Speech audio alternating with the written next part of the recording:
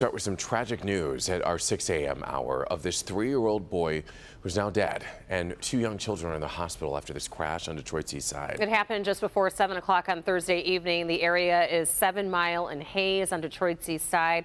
Let's get to Local 4's Nick Monacelli with more on what all led up to this crash. And also, we understand that the woman behind the wheel, the victim's mother, now in custody. Yeah, she is in custody, uh, arrested for impaired driving, but there's going to be a whole lot more, Rhonda. Good morning to you. So, witnesses say she was going about 70 miles an hour eastbound on Hayes, hitting a couple of vehicles here in the intersection, landing at the Jets Pizza behind me, but her son, who was thrown out of the car, then she ran him over. He was in the middle of the street as well. She was flying through the light, boom, and she hit the car even this early in the morning, all people can talk about is the tragic accident at 7 in Hayes that killed the three year old boy.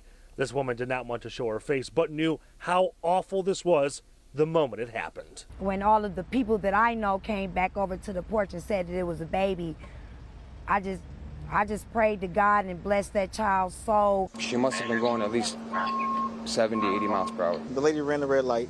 She hit one of our customers' cars. Williams William Sistrunk was working at Jets Pizza where the minivan ended up.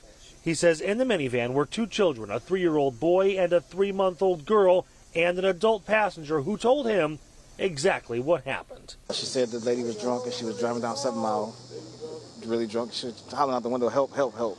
And she passed the light and hit all these cars, and the baby, the back of the truck opened up and the baby flew out. It was the three year old son of the woman driving that was killed. The baby flew out of her window and she ran over her own baby. When you have a child that is unconscious in the street, um, that's pretty traumatic.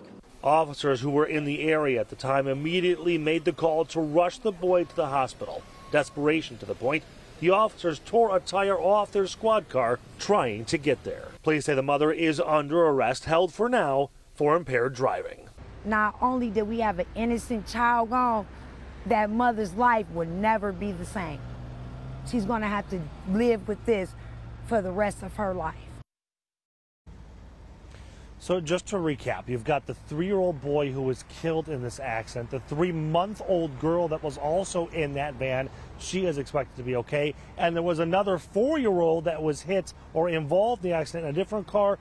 That child is also expected to be okay. We're live here on the east side. Nick Monacelli, Local 4 News, today.